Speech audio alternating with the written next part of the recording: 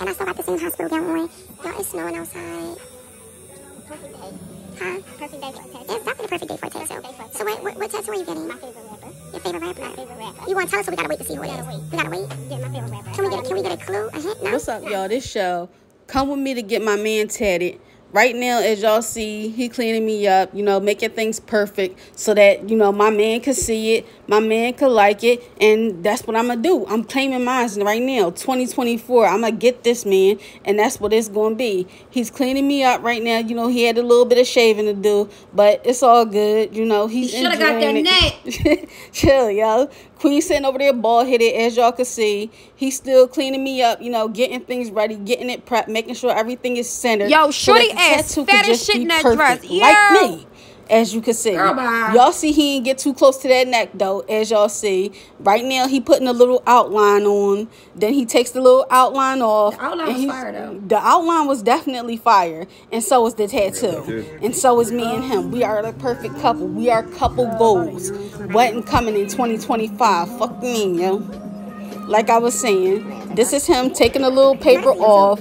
Y'all already see the name. Y'all see what it say. My man, my man. I'm claiming it. I'm claiming it. This me going to the mirror, you know, checking it out. You know, it's perfect, just like me. It's perfect, just like the person that is on. It is perfect. Y'all see the name right there.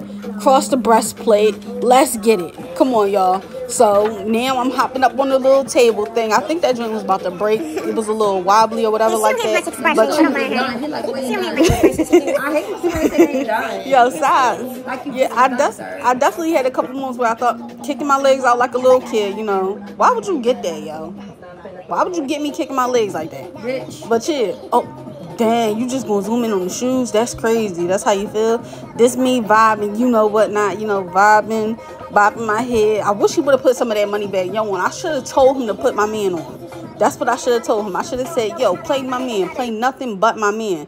Just the tattoo you about to do. So this me, you know, sitting like a lady, crossing my feet, you know.